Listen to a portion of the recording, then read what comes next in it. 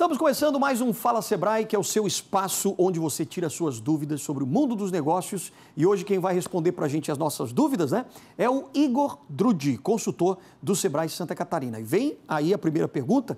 A pergunta é o seguinte: como é que os pequenos empreendedores podem utilizar a inovação para se adaptar àquelas flutuações econômicas repentinas e, claro, manter a saúde financeira do negócio?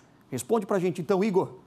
Empreendedores, fiquem atentos à tecnologia, ela está aí para servir vocês. Usem elas para que vocês tenham melhores ferramentas de gestão financeira, que elas inovem a previsibilidade e a capacidade de vocês terem resiliência financeira. Por isso, façam uso de softwares de análise preditiva que ajudam vocês a ajustar as estratégias de vendas e custos em tempo real. Além disso, a diversificação das fontes de receita por novos produtos, novos serviços, vão ajudar vocês a terem novos complementos ao seu portfólio e assim amortecer o impacto dessas flutuações econômicas. Já temos a segunda pergunta: quais são as estratégias, Igor, de precificação inovadoras que podem ser adotadas para lidar com a inflação e sem perder competitividade no mercado, hein?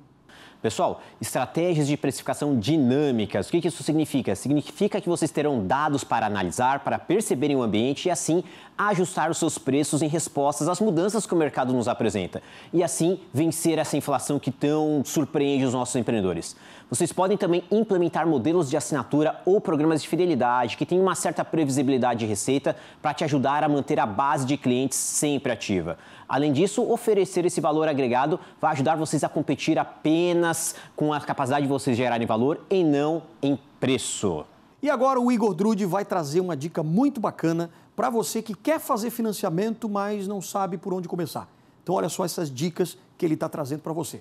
Dica para vocês saberem quais são as formas mais inovadoras de financiamento disponíveis para os pequenos empreendedores.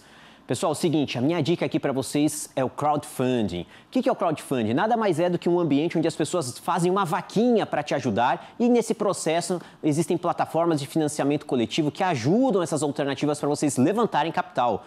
Além disso, programas de aceleração e incubação podem proporcionar não apenas o financiamento, mas também mentoria, conteúdo, acesso à rede de contatos valiosos que vão transformar os seus negócios e ampliarem a capilaridade de vocês para alcançarem capital. Como é que um pequeno negócio pode se tornar mais atraente, né, para aqueles investidores e fundos de investimento também? Fica atento. Dica para você, pequeno empreendedor que quer se tornar mais atraente para investidores e fundos de investimento. A dica é: desenvolva um bom modelo de negócio onde ele tenha muita solidez, que demonstre ali esse conhecimento de mercado, essa capacidade de vocês trazerem receita e controle de custos. Claro que nesse processo de crescimento vocês precisam demonstrar que existe um mercado aderente, um mercado atraente a ser investido. A transparência nas finanças e a demonstração de um bom histórico de decisões estratégicas podem ajudar vocês vocês a se desenvolverem frente aos, aos nossos investidores. E não deixe de participar do nosso Fala Sebrae, porque aqui é o seu espaço, né? Para você tirar suas dúvidas. Então, mande aqui a sua pergunta para a gente, que é o Producão TV Inova SC, arroba ndtv.com.br, que a gente traz um consultor para responder as suas perguntas. E a gente volta no próximo Fala Sebrae.